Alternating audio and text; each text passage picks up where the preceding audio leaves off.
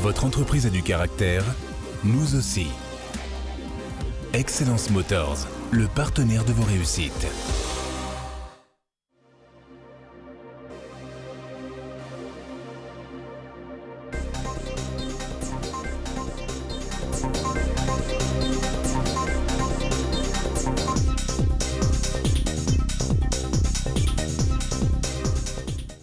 Bienvenue dans Réussite, votre magazine économique réalisé en collaboration avec la CCI de Troyes et de l'Aube. C'est un bâtisseur que nous recevons ce soir, un chef d'entreprise qui, dans la vie, avait comme dessin de dessiner des bâtiments pour les autres. Plus d'infos dans ce sommaire.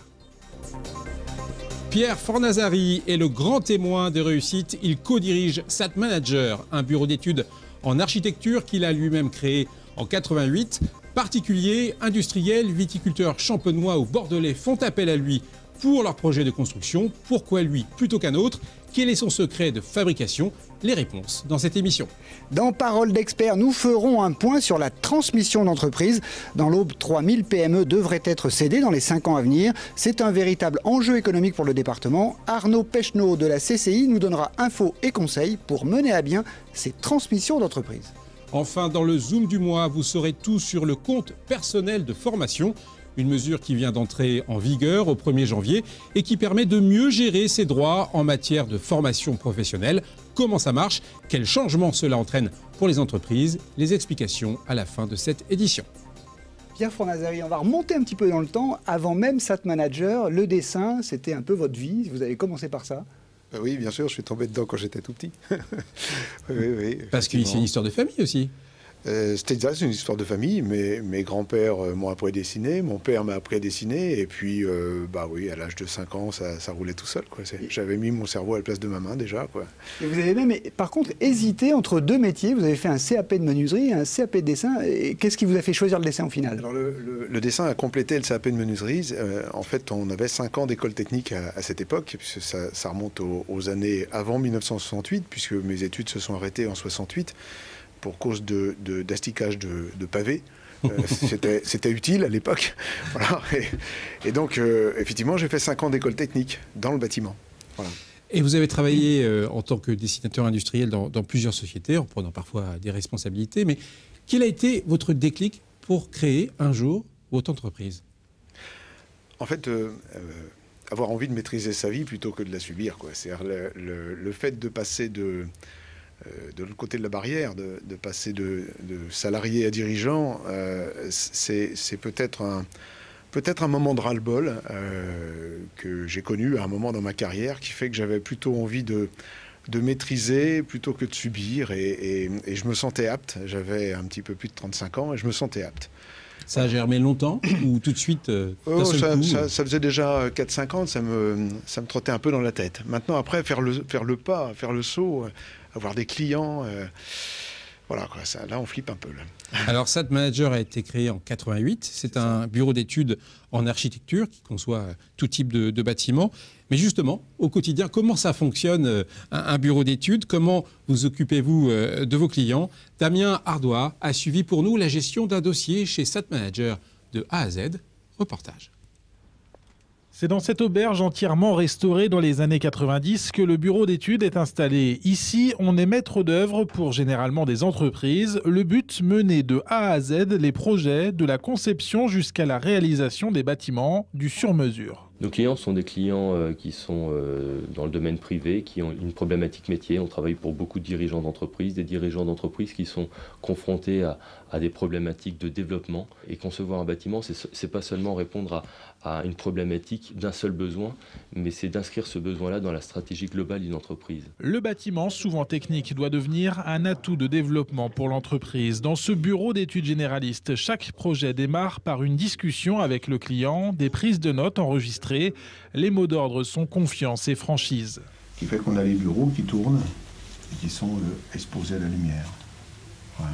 Il a une manière de fonctionner que je trouve, que je trouve très bien. C'est-à-dire que dans un premier temps, il laisse parler il nous écoute, il comprend vite, il interprète rapidement ce qu'on souhaite, et il met euh, sur le papier euh, exactement ce qu'on a, ce qu'on a souhaité. Et pour que les souhaits soient réalisables techniquement, la phase d'étude est indispensable au sein de SAT Manager. Elle concerne 11 personnes. Le chantier doit être une restitution d'une bonne étude. Et notre métier, c'est d'abord de faire une bonne étude complète. Les plans, les pièces écrites, savoir ce qu'on veut, à quel endroit, les prises, les couleurs, les matières. C'est ça l'important, la partie étude. Dans la facture finale, cette partie étude représente de 65 à 85% des honoraires. Il s'agit de dimensionner le bâtiment selon les fonctions voulues par le maître d'ouvrage, de trouver les bonnes solutions aux problématiques proposées. On commence par faire des croquis, ensuite on passe à l'étape de projet sommaire, ensuite tout ce qui est administratif, permis de construire. Et ensuite, on passe à la phase d'exécution, les plans qui vont servir pour les travaux. Le dossier suit ensuite son cours et passe par la partie chantier. Pour la réaliser, SAT Manager compte notamment sur sa petite sœur ACP. Les travaux sont alors contrôlés par des pilotes d'opération, toujours en concertation avec le bureau d'études. L'objectif étant de respecter les coûts, le calendrier et la qualité prévue. On a en main euh, un ensemble de plans pour le quoi, qu'est-ce qu'on doit construire? On a un planning d'exécution qui va être généré grâce à ça pour le quand, quand est-ce qu'il va s'inscrire dans le temps.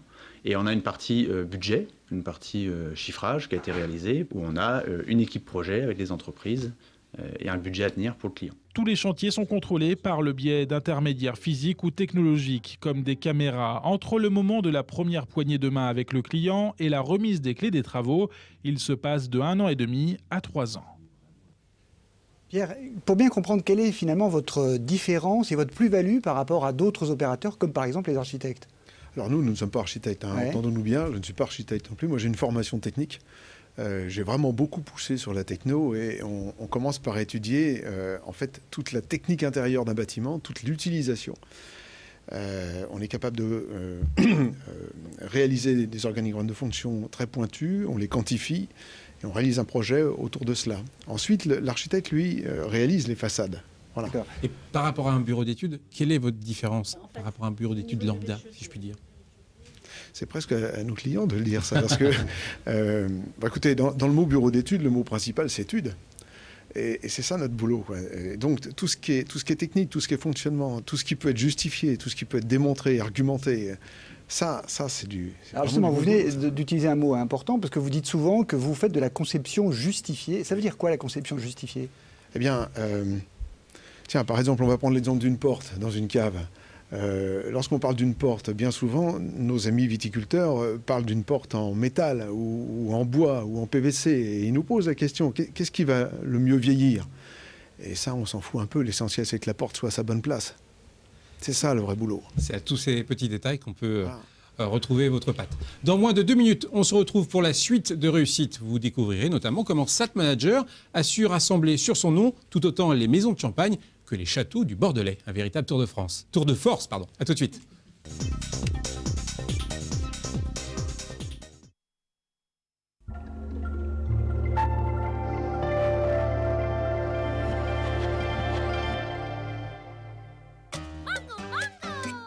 Oui oh, J'ai besoin de vacances, mais je me sens un peu seul face à l'immensité des offres de séjour. Oh, rien que d'y penser, euh, ça me gonfle Fais-toi conseiller, comme ça tu es sûr qu'il n'y a pas anguille.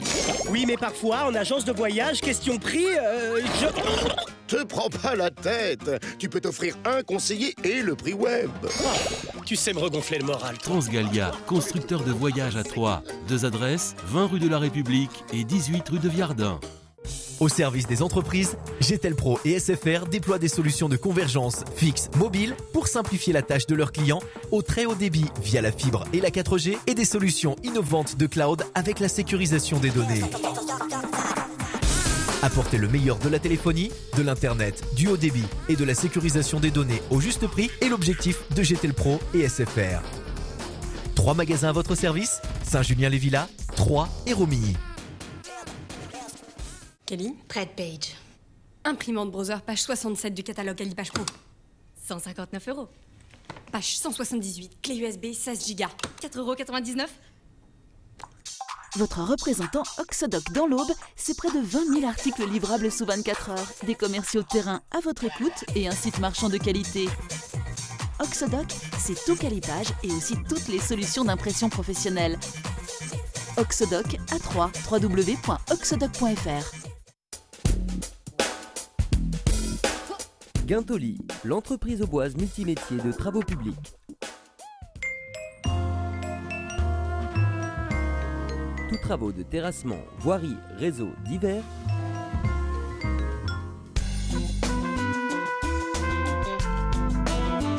Construction de zones artisanales, commerciales et industrielles, mais aussi aménagement extérieur chez les particuliers.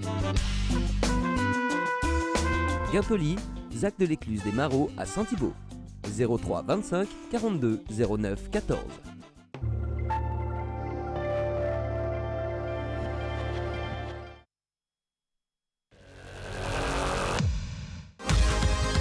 Votre entreprise a du caractère, nous aussi. Excellence Motors, le partenaire de vos réussites.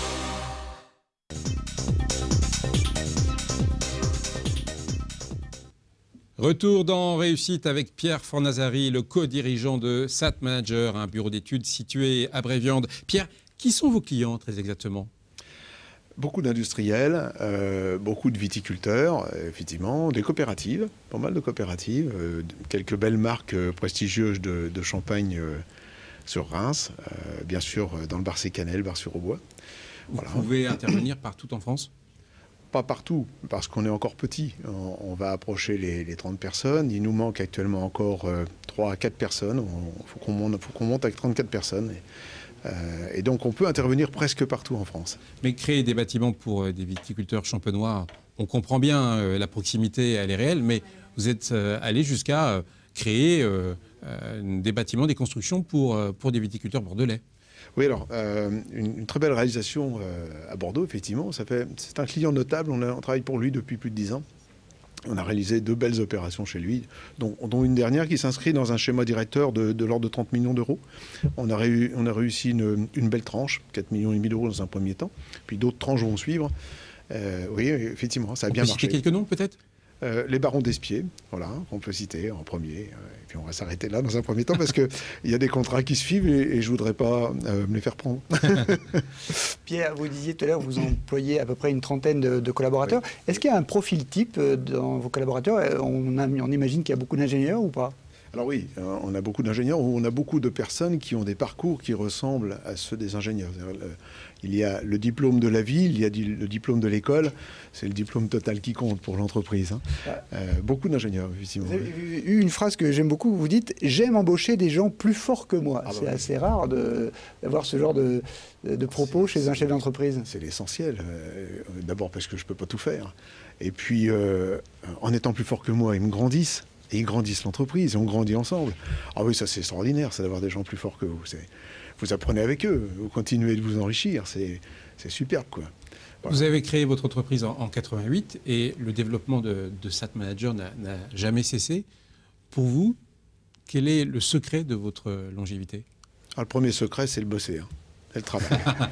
oui, il n'y a pas un petit génie comme ça qui ah, non, intervient. C'est le travail. C'est le travail et, et, quand on a fini son travail, il faut vraiment vérifier si on n'a rien oublié, si on n'a rien loupé, si tout va bien. Si... Voilà. Et puis être plus fort sur le projet suivant que le projet précédent. C'est le travail qui compte. Hein. C'est une richesse énorme, le travail. Donc vous ne comptez pas vos heures euh, non, je compte pas mes heures. Non. non, non D'ailleurs, je ne sais même pas quelle heure il est là. Merci Pierre Fornazari. On continue réussite avec le, retour sur l'actu. Chiffres, entreprise du mois ou initiative économique. Un mois d'actualité résumé en 1 minute 30.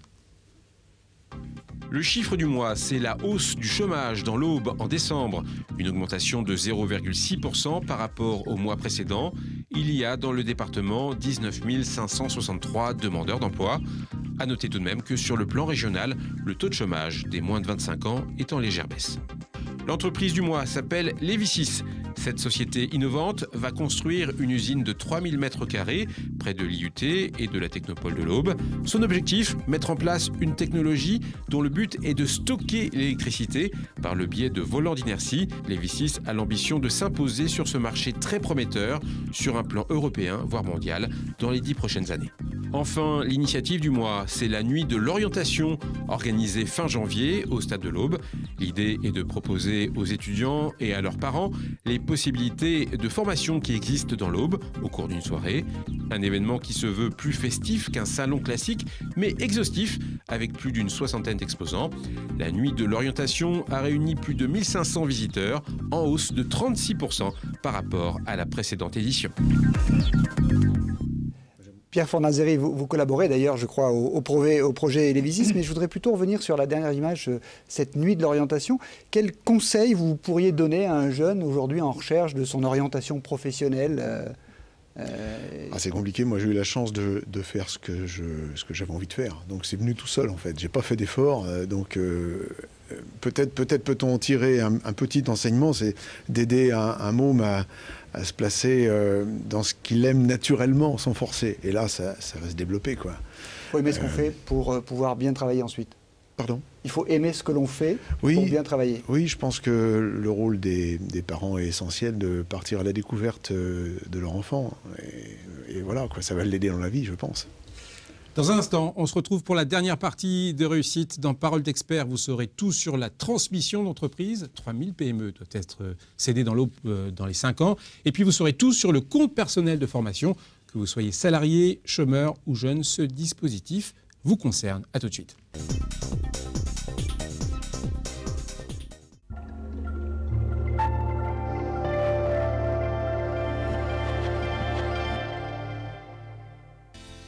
Dans la vie d'entreprise, il y a des hauts et des bas, des moments de stress, des accidents de la vie qu'il faut surmonter. Chaque jour, il faut prendre la bonne direction sur la fiscalité, le social, le juridique. Parce qu'une société, ce n'est pas simplement une histoire de chiffres, c'est surtout une aventure humaine et une histoire de cœur. Pour toutes ces raisons, et pour bien d'autres encore, Sadek Akelis est à vos côtés pour accompagner votre entreprise. Sadek Akelis, 6 rue du Général Sarail à 3. Contactez-nous au 03 25 80 66 80 ou sur sadek-akelis.fr. Alpix, expert en informatique, première SS2I régionale, propose ses compétences aux entreprises.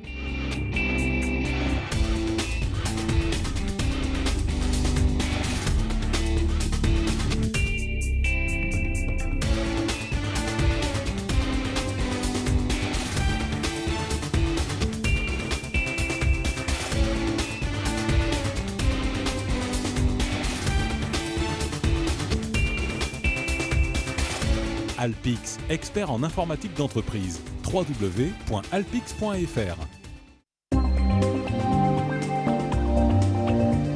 Pour le contrôle technique de vos véhicules poids lourds, une seule adresse, CTC 10 Crenay.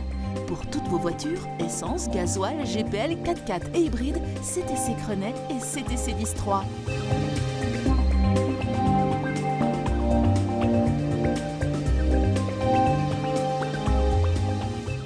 Nouveau centre technique CTC 10 Sainte-Savine, rue Nicolas Pia, entre CIC et Société Générale, avenue Gallieni.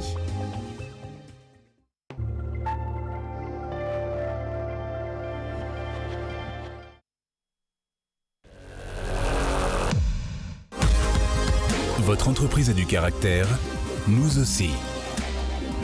Excellence Motors, le partenaire de vos réussites.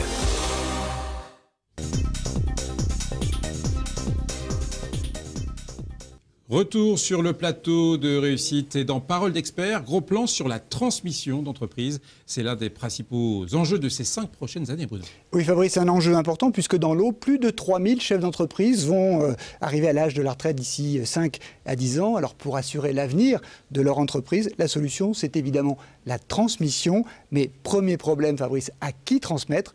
Nous avons posé la question à Arnaud Pechenot de la CCI.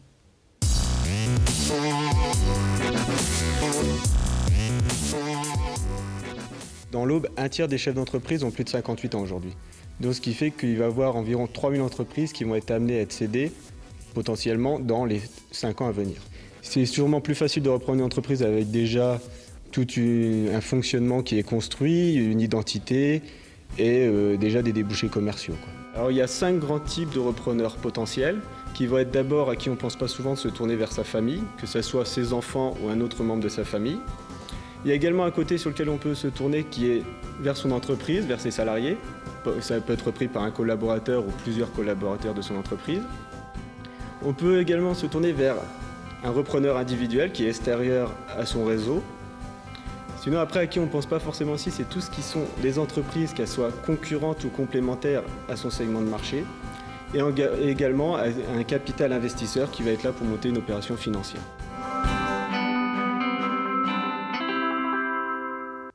Alors, quel que soit le type de repreneur envisagé, une transmission, ça ne s'improvise pas. Il faut en effet anticiper et préparer très en amont. Mais ce n'est pas tout, comme va nous l'expliquer encore Arnaud Pechenot. Le chef d'entreprise, il doit commencer par anticiper et préparer cette transmission d'entreprise. Du coup, il va devoir simplifier le fonctionnement de l'entreprise, transmettre ses savoir-faire aux salariés et aux repreneurs, et également donner de la visibilité et de la perspective aux potentiels repreneurs. Une deuxième étape qui n'est pas non plus négligeable, ça va être préparer le chef d'entreprise à cette session d'entreprise. Il va falloir que le chef d'entreprise se construise une nouvelle vie. Il va devoir établir un nouveau projet dans le cadre de sa vie. Une troisième étape aussi qui n'est non négligeable, ça va être d'évaluer l'entreprise afin de la vendre le juste prix et dans les meilleures conditions et de communiquer sur son souhait de vouloir la vendre. Et enfin, la dernière étape qui va être de négocier et de conclure avec le repreneur.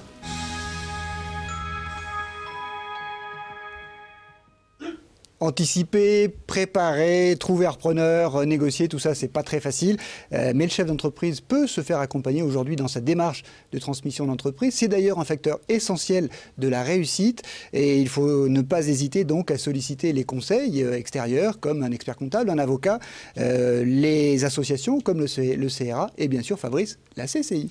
Pierre Fonazari, la transmission d'entreprise, vous connaissez bien ce sujet. Et d'ailleurs, vous avez plutôt préféré faire une transmission qu'une session.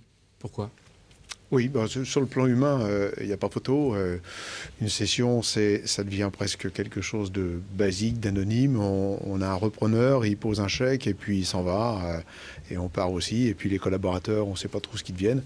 Moi, ce qui me plaisait bien, c'est. D'ailleurs, je vais reboucler avec la phrase de tout à l'heure embaucher des gens plus forts que soi. Ce qui me plaisait bien, c'était justement de tenter de le faire en interne. Et la présence de Loïc, euh, qui est aujourd'hui directeur général. Loïc Fontaine. Loïc Fontaine, ouais, euh, a été, euh, ça a été pour moi la perle rare lorsque je l'ai embauché. Et puis on a plein discuté tous les deux. Et finalement, ça, s'est fait naturellement. En plus, ça ne s'apprend pas. Il n'y a pas d'école qui vous apprend à transmettre une entreprise. Il n'y a pas de diplôme de transmetteur d'entreprise. Donc c'est quelque chose qu'il faut sentir, quoi. il faut peser. Une belle aventure humaine en tout cas. On termine cette émission avec le Zoom du mois.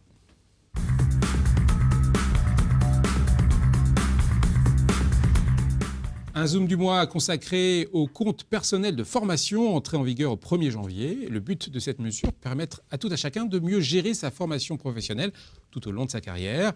Un dispositif qui entraîne aussi des changements pour les entreprises. Comment fonctionne le compte personnel de formation? Le reportage de Christian Vira. À partir du 1er janvier 2015, le DIF est remplacé par le CPF, le compte personnel de formation. Ce dispositif s'adresse aux chômeurs et salariés tout au long de leur vie active Seules les professions libérales et les agents de la fonction publique en sont exclus. Ce changement s'accompagne d'obligations pour l'employeur. Organiser un entretien professionnel avec chaque salarié tous les deux ans euh, pour faire le point sur euh, les projets, les évolutions professionnelles possibles et les opportunités en termes de formation du salarié. Au bout de six ans, euh, il doit également organiser un bilan de l'ensemble des formations suivies par le salarié. Pour le salarié, celui-ci doit ouvrir son compte personnel sur un site internet. Il pourra alors établir son plan de formation soit euh, une formation qui se déroule hors temps de travail et donc il est libre euh, de l'organiser, de la, mobiliser sans solliciter euh, l'accord de l'employeur. Si elle doit se dérouler sur le temps de travail, il doit solliciter l'accord de son employeur, celui-ci devant maintenir sa rémunération pendant cette période de formation. Durant 5 ans, le salarié cumule 24 heures par an de droit formation, puis 12 heures par an, dans la limite de 150 heures au total si plus de 10 000 formations sont proposées, toutes sont obligatoirement qualifiantes. L'objectif, c'est l'employabilité. Un mot à retenir, l'employabilité dans l'emploi, mais surtout vers l'emploi. Pour les salariés, le coût de la formation est pris en charge par l'OPCA, pour les chômeurs, cette mission est confiée à Pôle emploi et la région. Toutes les entreprises n'ont pas,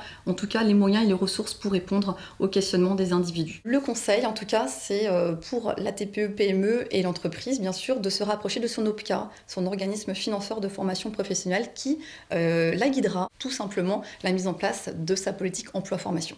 L'ESC propose des formations pour tout type de public. Ici, Isabelle accueille ce changement comme une évolution positive. C'est une bonne solution pour pouvoir faire évoluer leurs propres salariés. Les profils ne correspondent pas forcément entre ce que l'entreprise recherche et ce qu'il y a de disponible sur le marché de l'emploi. Donc de pouvoir qualifier ou certifier des salariés ou des demandeurs d'emploi permettront effectivement qu'ils arrivent à, retrouver du travail plus facilement une meilleure employabilité qui peut modifier la relation entre employeur et employé. On le qualifie, on le certifie, il a un diplôme, il a un permis de conduire, il a un CACES. Effectivement, il a plus de facilité de se revendre chez un concurrent ou dans une autre entreprise, ou alors de demander une rémunération supplémentaire. Le CPF s'accompagne d'une baisse de l'obligation fiscale des entreprises. Cela remet en cause le chiffre d'affaires des organismes formateurs Désormais, les prestations devraient glisser d'offres en direction des entreprises vers les individus. Pierre, la formation, c'est essentiel chez vous? Essentiel. On a créé une école, école SAP Manager chez nous. Voilà. Ah bah c'est une belle conclusion pour euh, cette émission. Merci à vous d'avoir participé à Réussite. On se retrouve le mois prochain. Tout de suite, l'agenda de la CCI. Premier rendez-vous à noter sur votre agenda, le 10 février, la CCI vous propose une réunion d'information sur les outils de télédéclaration JDAF et GREP pour la transmission des données d'autosurveillance des rejets et des installations classées pour la protection de l'environnement et la déclaration annuelle des émissions polluantes. Le 17 février, toujours à la CCI, vous pourrez assister à une conférence Quelles perspectives pour 2015 Conjoncture et risques économiques en France et dans le monde. Le 18 février, toujours à la CCI, vous pourrez participer au rendez-vous expert propriété industrielle. Enfin, le 20 février, ne manquez pas l'atelier de formation numérique Gérer mon e-commerce, logistique et e-marketing. Plus d'informations sur ces événements ou envie d'en découvrir d'autres, connectez-vous sur le site de la CCI www.3.cci.fr, le premier site au bois d'information économique.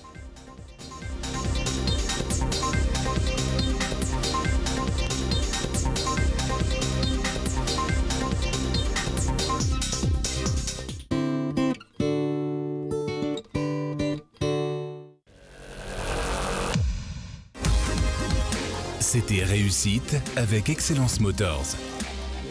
Excellence Motors, le partenaire de vos réussites.